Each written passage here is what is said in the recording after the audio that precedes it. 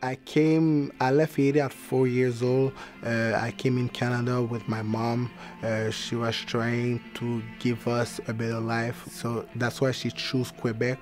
Also because there were more options and also of the language because my first language is French. I speak French. So that was easier for her and for us. When I'm on the ring, I feel like I'm a soldier. It's because uh, I go to war and, and we never know if we're gonna come back. My style as a fighter is really simple. Um, I like to fight.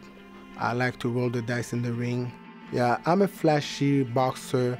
Uh, I like to use my speed, my explosions, every round I'm gonna give my 110% to try to win the fight and also to please the fans because uh, they're there for me since day one so I'm not gonna let them down. I remember a few years ago uh, I sent two guys uh, at the hospital so that was really really hard for me because uh, I'm an athlete, I'm a boxer and uh, I'm not a murderer or, or, or a killer.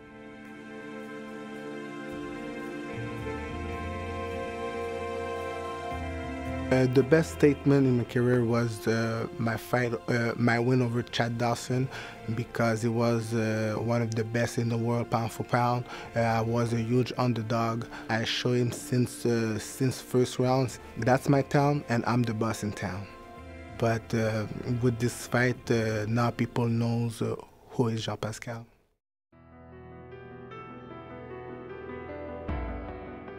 Uh, Hopkins is a great fighter. Um, I can take that away from him. He's a legend. He's a living legend. This is a big, big task for me, but uh, he has some flaws like everybody else. He's not perfect. Yeah, the first fight uh, was a great fight. Uh, I was telling people at the at the press conference, don't be surprised if the fight, uh, this fight will be fight of the year. At the end of the fight, when the result was a draw, I said, uh, heck no. I said a draw. Uh, honestly, I was really sad. I was really disappointed. Let's do it again and to make uh, and to find a winner next time. Uh, the first fight, people was saying that that was a teacher against a student. This fight, I'm gonna tell you something. It's gonna be a man versus another man. I know that my fans are behind me. Every round, I'm gonna give my 110% uh, to win the fight and also to please my fans.